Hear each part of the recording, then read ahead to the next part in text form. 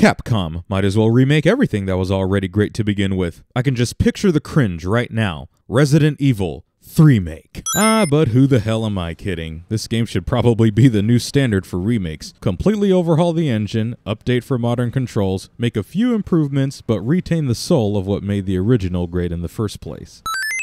You want to know how not to start a Resident Evil game? With Food ASMR, featuring a burger I'd expect to see at the Heart Attack Grill, which is unsurprisingly shut down. Look, just listen, all right?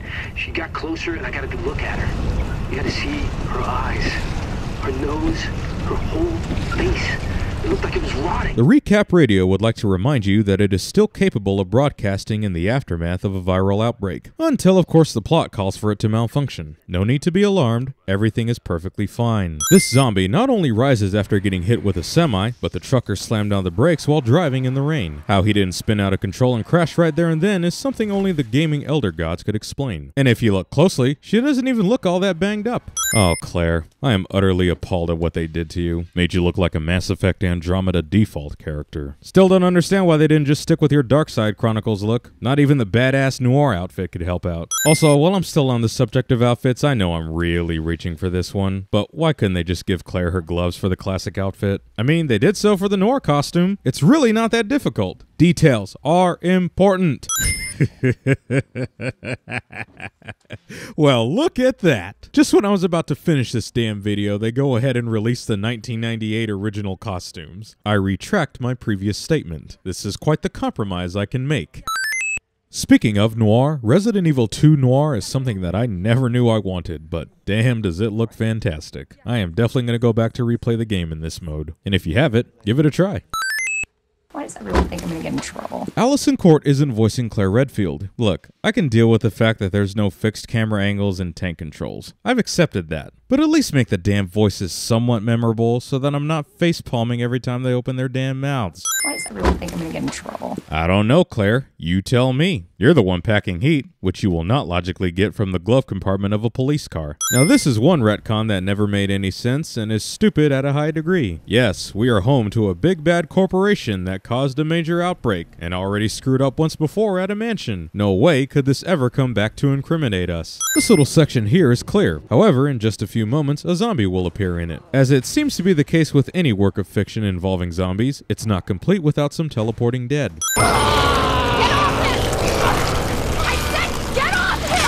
See, it was somewhat charming in the original when Claire was befuddled when she interrupted a zombie feast. Not so much here. You clearly saw someone else got chomped on before entering here. This is clearly not normal human behavior. You know what's funny? You can empty Leon's entire clip while he is in the convenience store, but once he escapes, he'll still have one bullet left to save Claire. Gotta love the power of that cutscene magic. Yeah, that headshot was a random chance. Zombies usually won't go down with one headshot in game. There's that teleporting dead again. I see that it's still convenient that Leon and Claire can just drive into town without passing through a blockade. Or did it collapse on the same day that they arrived in this one as well? What if we're the only ones? What if there's no No, survivors? they're survivors. It's a big city. Yes, one that strangely gets bigger with each interpretation, which would actually make sense if we lived in an alternate timeline where Raccoon City wasn't overrun by the undead. I cannot be mad at all that Claire gets her revolver without having to obtain a special key in Scenario B. Getting to play as Red Dead Redfield makes me love Claire even more than I already do. David, Marvin, you there? I found a way out. It's in here. You do know you can just go through the front door, right? Go to the front gate, pop some zombies, clear the way, and escape. There's no reason for you to escape through this parking lot. What's worse is that the game tries to cover its ass by blocking off the front door later on, as if there wasn't already an outbreak before Leon and Claire arrived, and as if the close to death Marvin managed to create the blockade all by himself. The hallway this officer is in leads directly down to the basement parking garage. Yeah, it's locked, but you'd be hard pressed to convince me these officers don't know the layout of their own damn police station. And that's coming from me. Just like its original, this game couldn't resist having the rule of three cliche. Dumb limitations continue to be one of the great enemies of Resident Evil protagonists. Mr. X looks like Nick Valentine got juiced up on some of those delicious T-virus steroids. This door is heavily boarded up, yet zombies will bust through it in just a few moments. But the little boards you pick up throughout the game that aren't so hefty will do the trick. I'm just gonna say this right now, the body physics and gore in this game are impeccable. Um, a new standard has been achieved in horror games, and every other developer from here on out is gonna have a lot to measure up to. Watch out! I see that my boy Marvin is a big fan of the saving the hero in the nick of time cliche, which is odd since I explored the entire lobby beforehand and he was nowhere to be found. I'm sure you did what you could, Leon. Does anyone know what started this? Really? Just like that, huh? Leon just automatically transitions into his police uniform when there are no lockers around and all the doors are locked with a spade key? Actually made more sense in Leon's scenario B where he did get his uniform in a locker. So nobody knows what caused this? There's a lot of theories. But all I know for sure is that this place is crawling with zombies. Hey Marvin, how come you never mentioned the mansion incident like you did in the original? It's not like you had STARS members conducting an investigation on it or anything. We'll probably need this. Boy, does this scene look even more ridiculous if you wear the original costume, cause Claire couldn't possibly use that knife attached to her vest. the most pathetic jump scare imaginable. So, we're not going to get any context for this scene this time, huh? No police officer being overrun by zombies and accidentally shooting the pilot that causes them to crash? Just a random occurrence, huh? I take it you don't have the key. No, I don't. It's good to see your face, though. How are you holding up? You know, Claire, you can drink that rainwater if you're feeling that thirsty. You find your brother? I did actually. He's. No, Claire, you found information that Chris is in Europe. That's not the same thing as actually finding him. I tried, Leon. But I couldn't stop it. Marvin, you might as well just say, Sorry, Leon, I'm the black guy in this horror story, therefore I am obligated to die. We can't let this thing spread. We can't let this thing spread, even though the entire city is already screwed and infested with zombies, making my entire statement pointless. So, one really cool thing about this game is the defense items that were introduced in Resident Evil 1 Remake return. And better yet, the combat knives you obtain actually have weapon degradation, forcing you to carefully strategize, ultimately bringing us back to our survival horror roots. Ah, don't I just love it when everything comes full circle. So, when starting scenario A, you find your way to the police station, try to help a police officer, watch him die, get saved by Marvin, search for the spade key, hear their helicopter crash, and end up meeting Leon or Claire outside. When you start scenario B, you automatically end up at the police station, hear the helicopter crash, and meet up with Leon or Claire. That is quite the time jump, even if both of these scenarios aren't happening simultaneously. You need help. Why? He's right behind you. Sherry says this before Birkin actually appears behind Claire. Behold, ladies and gentlemen, both Claire and Leon get to fight Birkin at this stage in the game, even though one of them should have already dealt with him in scenario A. So, where's your dad? He, um, worked with my mom, but he's gone. Wow. Both of my parents are gone. It's just me and my brother. Aw, how adorable. They're essentially bonding over the dead parent cliche. Tie. Okay then. You tie her up now or she dies. Sherry, come here. What are you gonna do to her? None of your fucking business. So you know all that subtle creepiness Chief Irons had in the original? Yep, let's just completely eliminate it while doubling his wickedness and douchebaggery. That'll make him a more compelling villain. Sherry loses the pendant even though it was wrapped around her neck, and somehow Chief Irons didn't notice it. I see that Ada is also a fan of the saving the hero in the nick of time cliche. Ada wears sunglasses at night. Lower it. Yep, just like I had thought. Ada lost a lot of her seduction and charm once Sally Cahill left. Lower it. FBI. It's always super easy to create a fake FBI badge in fiction. FBI, huh? What's going on here? Sorry, that information's classified. Sure, all of Raccoon City has fallen into chaos and overrun with zombies. I'm sure you'll be able to keep that information classified for long, especially when you reveal Ben was your informant in just a few minutes. Just like in the original game, Leon somehow reaches Ben before Ada, even though Ada went before him. Irons. You mean Chief Irons? Is he still around? Who cares? He's the bastard that locked me in here. I'm sure he had a good reason. He did. I was about to blow the whistle on his dirty ass. If you were going to blow the whistle on him, why did he leave you with the parking permit and kept you alive? He's already shown he's not above murder, and leaving you with the only way to escape, regardless of locking you in a cell, is quite the oversight. I was about to blow the whistle on his dirty ass. Yeah, you might want to rephrase your words there, Ben. If you play Claire A, Leon B, the kennel will be destroyed out of order. It'll be ravaged by lickers when you first go through it, and then be perfectly fine the second time you go through it. Guess they didn't take into consideration those of us who weren't going to be suckered by advertising. You want to know what made Mr. X so terrifying in the original? That he only showed up in one scenario. Kind of diminishes the scare factor when he shows up in both scenarios in this game, often in the same spots.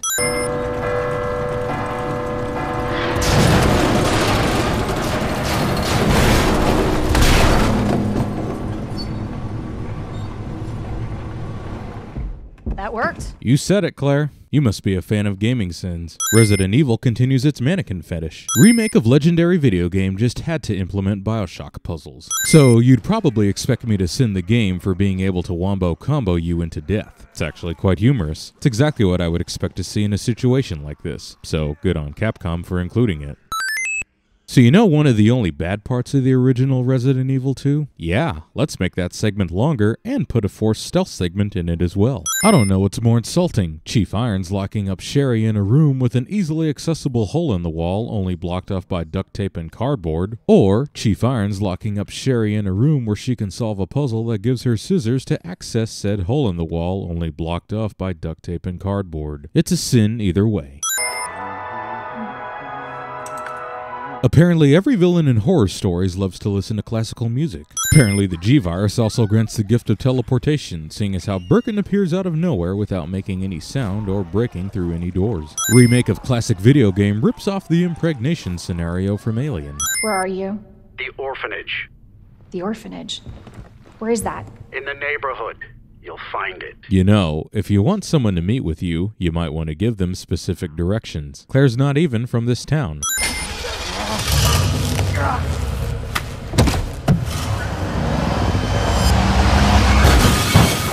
This is getting old.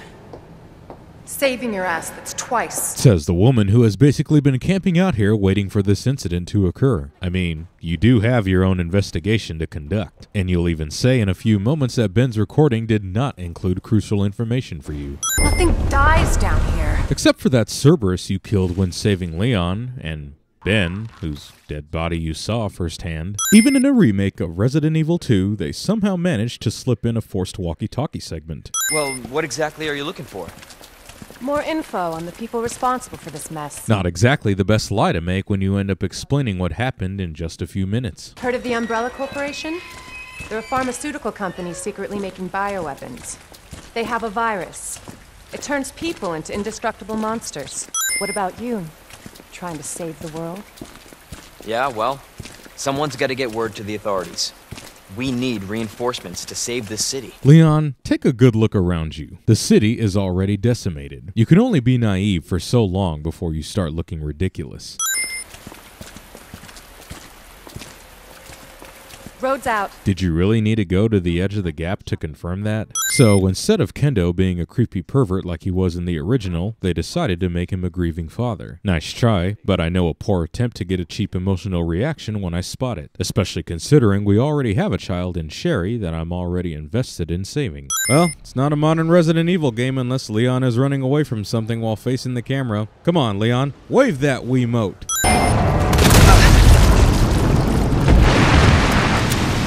Chew on that, you overgrown son of a bitch. Forgive him. It's still very early in his one liner career. That little walkway Ada was at does not lead to the position where she ends up. Well, look at that. Of all games out there, this is the one where the Mass Effect elevator decided to make an appearance. Stop!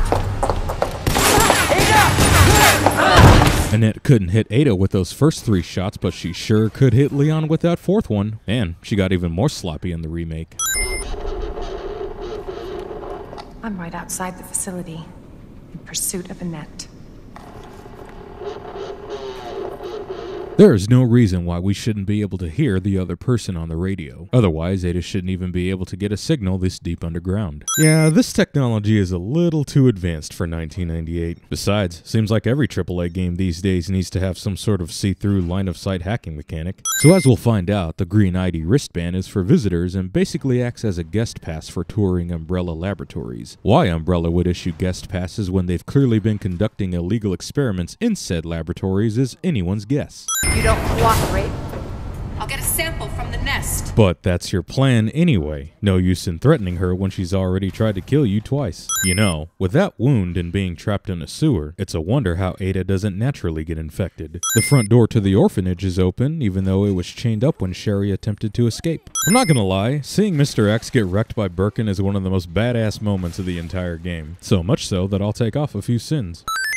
First person point of view at critical plot moments. I'm surprised Annette is able to keep her balance with her heels standing over that grate. Want to know how brain dead the creators of the G virus are? They believe that G will surpass humans, yet in the same document they claim subjects infected with the G virus will begin to lose intelligence immediately and will only be driven by the instinct to survive and reproduce. Intelligence being the whole reason why you were able to create the virus in the first place, while surviving and reproducing are actions humans naturally do already. Should have just left out those pages and skipped to the part where G virus subjects will be impervious to traditional forms of firepower. That way you don't automatically look like a Looney Tunes villain. So G will also seek out those who are closely related DNA wise and most likely implant an embryo in its biological children. So it's an incest virus. Japan, I know your culture is ahead of the curve most of the time, but you might want to tone it down in this instance. Sherry, I told you I cannot leave here until my work is done. That's what you say.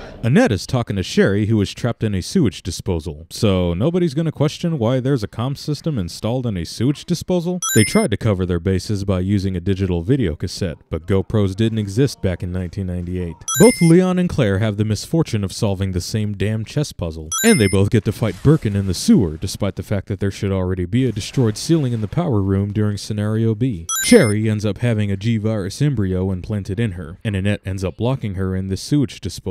Yet she won't insist on curing Sherry until Claire gets involved, even though she already had the means to do so. I see they missed modeling the currently equipped outfit in the monitor screen. Annette is speaking to Claire and Sherry from her lab, which is at Nest. Yet she somehow got to the lab when the only way to get there is through the tram, and the tram is still at the sewers. Calling it a chemical flamethrower is a bit of a redundancy, don't you think? As opposed to an organic flamethrower or a natural flamethrower? We have to get to the nest. Nest? Umbrella's lab, right beneath us. Not to be too nitpicky, but the tram that leads to the lab travels down diagonally. The lab is not directly beneath you. Ah, so Ada's the one who gets to put on the moves this time. Wow, you guys are really gonna make me do this, huh? Okay, you asked for it. Be gone! I don't know what I'd do without you. Are you kidding me? You were doing just fine without me, so I came along and got you all sorts of trouble. You must have missed the part where Sherry explained the reason why she went to the police station in the first place was because she was scared. She called the police as well as her mother, and nobody answered. She would have been in trouble regardless of your involvement. I know it seems like your mom doesn't care, but Yes, Claire, that is exactly the case. Annette made up any excuse she could as to why Sherry went to the police station and didn't even bother to treat her until you pleaded with her. there's gotta be something here. Antiviral agent. That's it. How convenient that the computer is on the precise page Claire needs that provides crucial information. Man, even in zombie form, people are desperate to eat ass. Ivy monsters have basically been reduced to bootleg regenerators. Just couldn't resist putting in an Arkham puzzle, could you, game? I know I should have mentioned this already, but my goodness, the spark shot is so much better in this game than it was in the original. Gotta give props where they're due. Kind of strange how you have Umbrella employees panicking over how to stop Plant 43, yet there's a solution and formula to create herbicide that stops Plant 43, meaning they had already taken the necessary precautions but didn't act on them. Dr. Birkin, you'll come along with us quietly. You think I didn't know you were coming? I mean, clearly not. Otherwise, you would have been more prepared. That or you wouldn't have been caught in the first place. Hold your fire! What the fuck were you thinking? Our orders were to bring him in alive! Way to ruin Hunk's character, you bastards. What makes him so badass is that he always keeps his cool. He's calm, cold, collective, and callous. He doesn't lash out at his subordinates regardless of their incompetence. Also, his orders were not to bring Birkin back alive. The order was to obtain the G virus at any cost. Why they changed it to apprehending Birkin being the primary objective is eye-rolling to say the least. Now, this is a sin of convenience if I ever saw one. Sherry's pendant is the key that accesses the storage containing the antivirus, meaning Annette would have never been able to treat Sherry if Claire didn't stay. And it makes even less sense for Leon. Where the storage is already opened, despite him not having a pendant and this entire west area being locked off until now. Um, Annette, you were not injured the last time Claire saw you. Game really needs to make up its damn mind. You can't have A and B scenario canon while at the same time making certain situations inconsistent, like having Claire and Leon engage in the same Birkin boss fight at this stage in the game. What about Sherry? How could you just leave her all alone while Raccoon City burned to hell? I couldn't let my daughter grow up in a world with a G virus in it. Then why the hell did you allow your husband to create it in the first place? Your umbrella, too. You're telling me you weren't involved in this? Yes. But we never meant for this to happen. I believe what you meant to say was, we never meant to cause a massive outbreak that ended up killing many innocent people. Nobody creates a mutagenic virus with good intentions. Wouldn't be a modern Resident Evil game without a boss that has obvious weak spots. Target has been neutralized. After this boss battle with Birkin, the computer says target neutralized, and that doesn't make any sense. This is a laboratory conducting experiments with viruses, not a military mission or covert government operation. Attention, Well, isn't that perplexing? The computer can detect who is unauthorized to remove the virus, but not who is unauthorized to access the storage containing the virus in the first place. What does that mean? It's a self-destruct code. in case the G virus leaves the building. Well, the city is already devastated because of the viral outbreak. It's a little late for that procedure. So, all this time, Ada could just use the EMF visualizer to hack through security clearance. So, what the hell was the point of her obtaining the ID wristband in the incinerator? Why couldn't he just hand over the sample? Because I realized, as much as I wanted to trust you, I didn't. Hey morons! The self destruct system has been activated. It would be best for you to evacuate immediately. Annette was able to shoot Ada even though Leon was directly in front of her when she took the shot. Ada falling to the depths is head scratching to say the least. Those of us who have played the original know this is complete bullshit. The only way she could have survived is if she used her trustworthy grappling hook, which makes me wonder why she never used it when we were controlling her. And she would have had to have pulled that off and escape with an injured shoulder and leg. Leon was somehow able to communicate with Claire even though these monitors were turned off. The lever was just to activate the train, not the comms.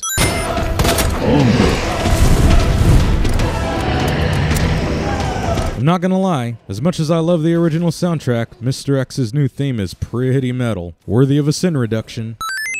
You want to know why this sequence made more sense in the original? Because Ada could actually see Leon. There's no way she could have spotted him from this distance and location. Not sure why you still have that ID wristband, Leon. I put it away in the item box. Yes, Birkin, even in a remake, you remain a grotesque, terrifying, yet awesome final boss battle. It's no surprise you have never been topped. You took multiple anti-tank missiles to the eye, but a quick stab is what stuns you for the final blow. This trucker ends up flipping off Leon. Whatever metaphor or twisted sense of irony they were going for just went right over my head. Mainly because the trucker is heading into a city overrun with zombies. Oh, that makes it even dumber. Hey, that was Live Another Day by the great. Wow, the radio must be broadcasting from Pun City, the place that is oblivious to the massive viral outbreak that occurred. So, is it over? I don't know. But if it's not, we'll stop it. Whatever it takes. Yeah, you damn right we will. As long as we stick together, we'll be fine. The real sin here is that this is not how things end up. Unless Capcom pulls a flashpoint and remakes every Resident Evil game in an alternate universe where Claire and Leon do end up partners, they need to piss off with this false hope. Hey, you guys can adopt me. Sherry seems way too happy for a child who just had both of her parents killed and barely made it out of this ordeal alive. Riding, or in this case walking off into the sunrise cliche.